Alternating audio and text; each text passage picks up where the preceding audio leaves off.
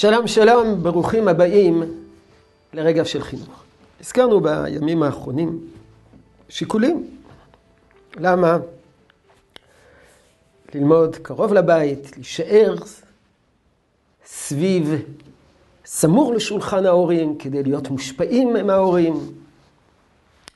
אבל יש גם שיקולים אחרים. דווקא שיקולים בעד אה, לימודים בפנימייה, דווקא רחוק מן הבית.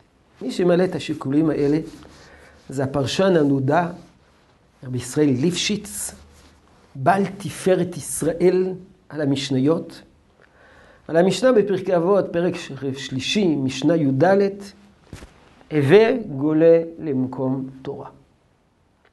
וכך הוא כותב, ואני מקריא, והדברים האלה כאילו נכתבו עבורנו, היום.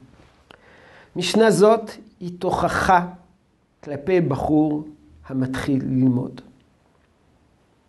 תוכחה, הכוונה, הדרכה, הנחיה, הביא גולה למקום תורה.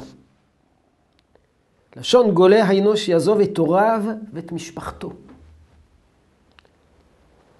ולמרות שקשה הפרידה הזאת, כמתנתק תינוק משדי אמו, לטובתו היא.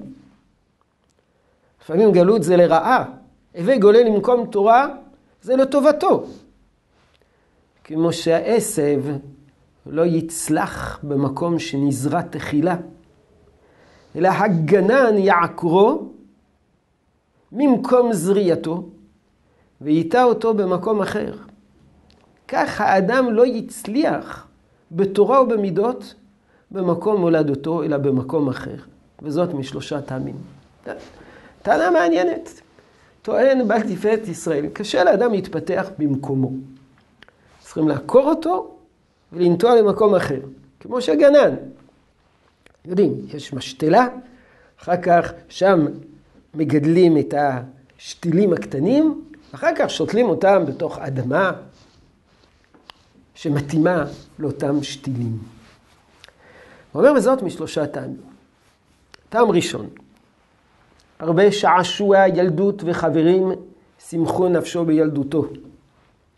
הוא מוכרח לעזוב אותם אם רצונו לעלות בסולם ההשכלה והחוכמה. אבל בביתו, ההרגל ימנע ממנו מלפרוש מהם. זאת אומרת, דבר ראשון, זה מה שהזכרנו בימים האחרונים, על המעגל החברתי.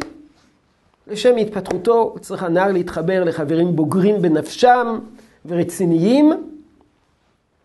כל עוד הנער נשאר בביתו, יקשה עליו להחליף את מעגל חברי הילדות שלו, ולעיתים הוא זקוק לסוג אחר של חברים, איכויות אחרות, כיוונים אחרים.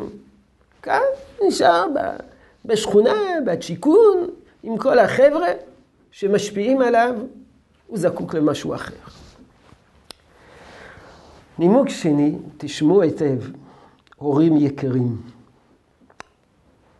נימוק שני, ואני מצטט, בבית הוריו הוא תמיד יישאר ילד. בבית מתייחסים אליו כילד.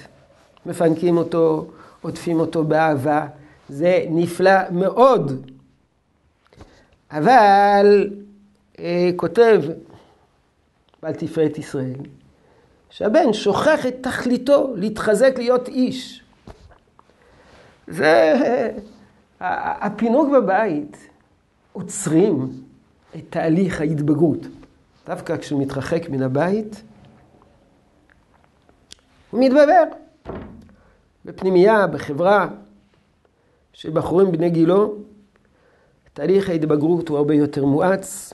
בבית הוא נשאר תמיד הילד הקטן. אה, יש עוד נימוק שלישי, אבל מפאת קוצר הזמן אנחנו נראה אותו בעזרת השם מחר. יהי רצון שתשרה ברכה בעבודתנו החינוכית. שלום שלום.